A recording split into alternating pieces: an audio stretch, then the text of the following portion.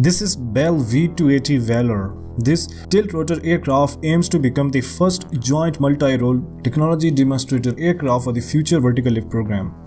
The DoD has been looking for the replacement of the Black Hawk for over a decade and it appears they have found it. The V280 has twice the speed and range as compared to the Black Hawk, providing better fuel efficiency in operations. The V280 has been designed to operate for long ranges, useful for combat missions in hot areas and also providing medical emergency in such areas.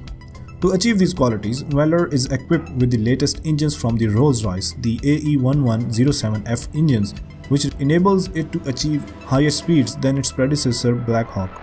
The V280 Valor is a product from Department of Defense program called Future Vertical Lift. This program is developing 5 different helicopters to replace already in use family of helicopters for all US forces branches. These include the CH-47 Chinook, the Black Hawks AH-64 Apache and Bell's OH-58 Kiowa. These five helicopters will be the part of the same family and will use similar engines, avionics and sensors. The Department of Defense conducted a study on the state of its rotorcraft fleet after military operations in the Middle East.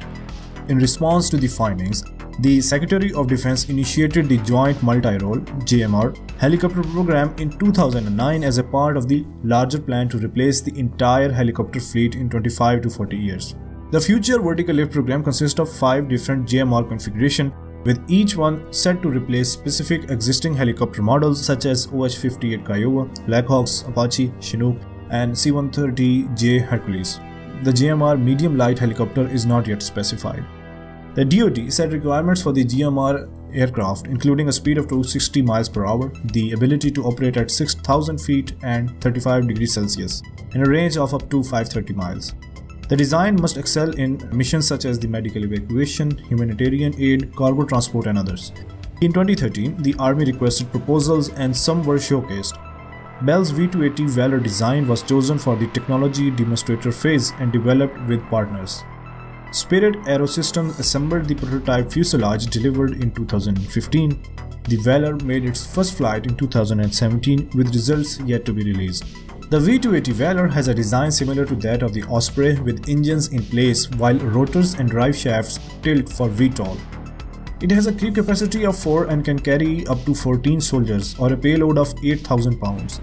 The Valor has a length of 50 feet with width of 81 feet and height of 23 feet, with side doors for easy access and enhanced situational awareness. The wings are made up of carbon fiber composites to reduce cost and weight.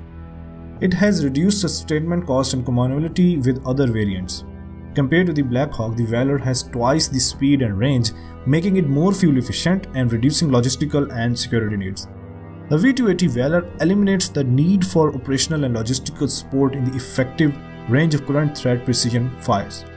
The Valor helicopter is designed to enhance medical evacuation missions with its ability to cover 5 times the range of current helicopters.